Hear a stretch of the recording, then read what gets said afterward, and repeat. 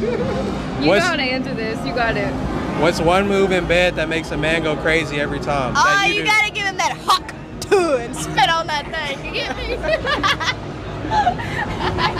All right, that was funny. Trashy, but funny. Imitating your blowjob skills will make you TikTok famous, but it's probably not likely to get you a husband.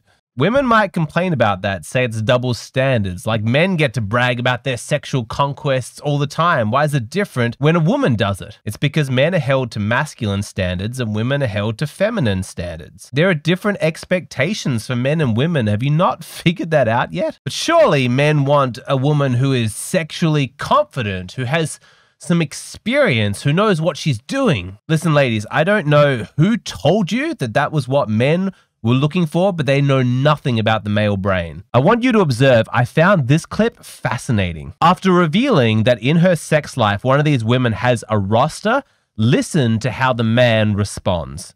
Who would you go for? That one, this one, or this one? Neither. Why? I can tell you all three. You already told me she was over a roster, and if she's her friend and she's her friend, none of them are good. You gotta stay true to yourself, King. What do you think is the body count? I'm gonna say 15, and I'm gonna say over 20. Truly, What's your body count? four, Four? four. So what's the perfect body count for a woman? Uh, For a woman, I'm gonna say under seven. Under seven. Damn. So Any, so anything above is crazy. none, of, none of these can be. None of these can have a chance. Not a chance. You gotta, you gotta be worthy of yourself, man. You're worth more than that. But you don't think high body count means more experience? More experience. I don't give a fuck about more experience. Well, shit, what would you rate them then? What I rate them? They good looking. Nah. Nah. You gotta stay true to yourself, man. I mean, fuck me, that guy is, is savage. But uh, is he wrong? My favorite part is when the interviewer's like, she's got a high body count, but she's like more experienced. Isn't that a good thing? And he's like, experience? I don't give a fuck about more experience. Maybe if a guy is having like a one night stand with a woman who he does not respect, who he would never marry, then her body count doesn't matter. All that matters is that she can perform. He's looking for one night of pleasure. If she can deliver on that, then that's fine. But for your wife, for the mother of your children, the woman who you fall in love with, who you care for, open your heart to, be vulnerable in front of, the person that you trust, that you feel safe with, do you really want that woman to have been with 30 guys and to be experienced? When she pulls out some like crazy sex move and you're just having a one night stand, your thought is like, yeah, this is awesome. She's a freak. Let's do it. But if this is the love of your life and you're having like a soul to soul lovemaking session, you want the feeling to be like you two are the only people that exist in the world, that your connection is special. And so if she pulls out some well practiced freaky sex move, then it's to burst his love bubble where he thinks that it's just the two of you and no one else exists. He's to be thinking, okay, what was that? Where did she learn that move? And how is she so good at it? Like, how much practice has she gotten? How many guys has she been with? Her sexual confidence in this moment scares me. Y'all, I'm struggling. So, big surprise, I'm talking to this new guy, and he was straight up honest with me. He said, I've been going on these really great dates, but there's just been this one big deal breaker every time. Like, it's been a problem. And I'm like, okay, I'll bite. What is it? Like, why don't we just get this out of the way? Like, might as well figure it out so we don't catch feels and then be like, oh, damn, this sucks. And he tells me, he says, I'm too big. And I was like, what do you, what do you mean you're too big? He said, usually girls see me, my dick, and say, that. And I'm sitting here like, mm, how do I not sound like a hoe telling him that won't be a problem? Like, give me it! The more sexual partners that a woman has had, the less likely she is to be happy, faithful, and committed. That is not my opinion, those are facts. Have a look at this. The chance of divorce after five years of marriage goes up the more sexual partners that you've had. And the number of women who have had 10 plus partners before marriage keeps climbing higher. This is a worrying trend because sex is an integral part of the pair bonding experience. One of the reasons why women never forget who they lost their virginity to is because going through that experience with somebody is incredibly emotional. It's intense, it's new, it's exciting, it's scary. It is a vulnerable experience for a woman and it requires her to feel safe, to trust the man that she is with because she's going to be bonded to him after that. He is now a part of her. It's not just losing her virginity, to a lesser extent, every new sexual frontier is an important opportunity for pair bonding. The first time that she does this particular sexual act with a partner, the first time she looks into her partner's eyes when she climaxes, the first time that she says, I love you during sex. Each new experience requires courage and vulnerability. And safely navigating that with your partner is what bonds you to them. Every man knows this intuitively. We feel it on a biological level. And so it makes sense why men are not lining up to give long term commitment to women who are sexually experienced with a bunch of other dudes. Unless he's got some cuckold thing going on. There's no guy out there who's thinking, oh, I really hope that my future wife is really sexually experienced and has had sex with lots of different men because that's just like a big bonus for me. Yay! That's not what he's looking for. He wants bonding, he wants commitment, he wants loyalty, safety, trust. He wants love. Yes, love. Men want to love women and they want to be loved by women. And every man knows he can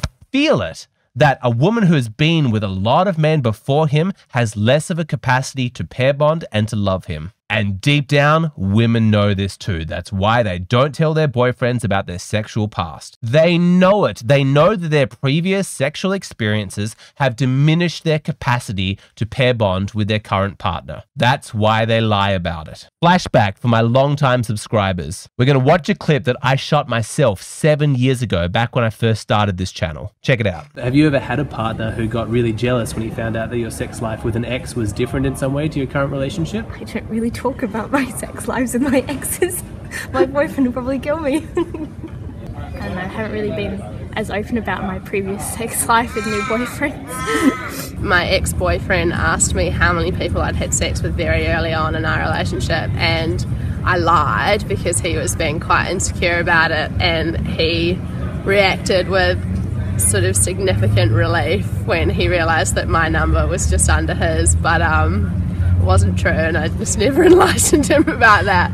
That last girl is not alone. Many women lie about their body count and they always give the same excuse. I, I lie about how many men I've slept with because my boyfriend was so insecure. But is it really insecurity or is it a rational concern? If a man says that I don't want to date a woman who's slept with 50 guys, is that because he's really insecure or because he's very rationally figured out that all of her previous sexual experiences have diminished her capacity to pair bond with him? He wants to be loved and he is accurately determined that she's going to be less likely to love him because of those experiences. Calling men jealous or insecure about this is just another example of demonizing men, shaming them for what are actually perfectly rational fears and concerns. But, you know, what else is new? The conversation about body count and previous sexual experiences can often take women by surprise when they finally have that with their boyfriends because it seems so intense. He seems so focused on it, and she thinks this wasn't a problem with any of my previous sexual encounters.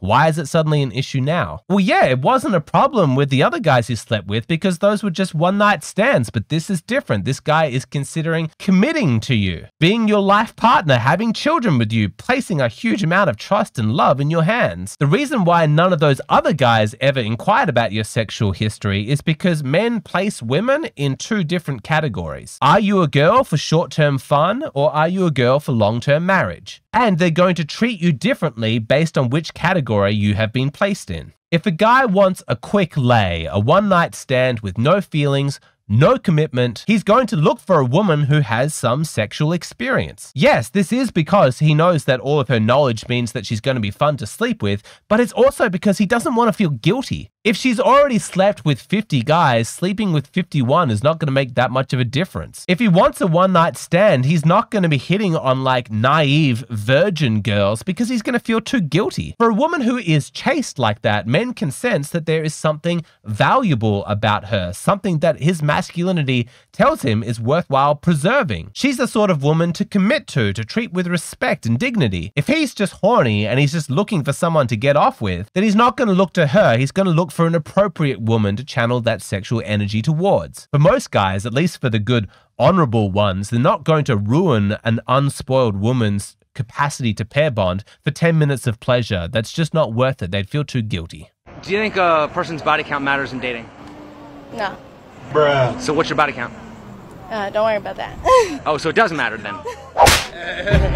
Women want to believe that them being sexually experienced does not matter, but they know that it does. They argue that men shouldn't care, but I argue that it is sexist to shame men for their preferences. For years, I've been using the same analogy to encourage empathy from women towards men facing this predicament. I tell women, you say that a man should not care about your sexual history. What you've done sexually with other men in the past is irrelevant. Doesn't matter if you did different sexual acts with ex boyfriends that you don't do with him. Doesn't matter how frequently you had sex with other men. If you were more passionate or more generous with past lovers, all of that is irrelevant. That's your position. But let's flip the genders, all right? Let me ask you this question How would you, as a woman, feel dating a man who refused to spend money on you to the same degree that he did his past girlfriends? With women that he dated in the past, he would buy them expensive gifts, he would take them to fancy restaurants, fly them around the world on these lavish holidays.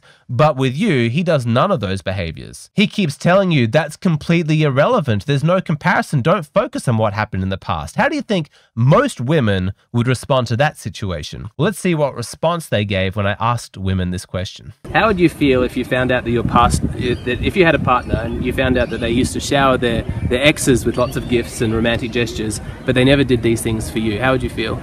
I would feel a bit more insecure, definitely. I'd like want to be. I guess you would compare yourself to the ex, so you'd want to be a bit on their level. I guess. Well, it would be nice if you did that with me.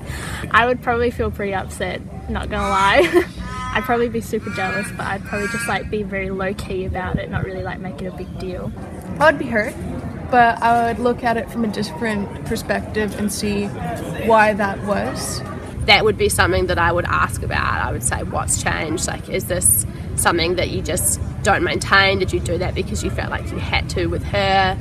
if I was starting to feel really, really paranoid, like stalk his exes, not literally, just like go on their Facebook pages and see what they were into and what they were like and how come I'm less valuable to him than this person. That last girl, she said that if he spent less money on her than he did his ex girlfriends, then she would feel less valuable to him. That right there, that is how a lot of men feel about her sexual history. If she did this sexual act with her ex, but she refuses to do it with him, if she used to have sex with her ex boyfriend this frequently, but with you it's only this frequently, a lot of men feel like she does not value them as much as she did her ex partners. What I want to talk about in the rest of this video is that sometimes that is legitimate. They are considered less valuable by their girlfriends, and their past sexual behavior proves that, and you have to have a very tough conversation. However, there are circumstances where that's not going on, and her attracted sexual enthusiasm can actually work in your favor. It depends upon the specific behaviors that your girlfriend is exhibiting, and most importantly, what her intentions are. And so you need to have a conversation to find out where she's coming from. If this is something that you're dealing with, jealousy over your partner's sexual history, and you don't know what to do with that energy, you're going to want to watch the rest of this video. It's available on my Patreon. What I post here on YouTube, these are just the shortened, abridged versions of my videos. If you'd like access to the full video, come over to Patreon.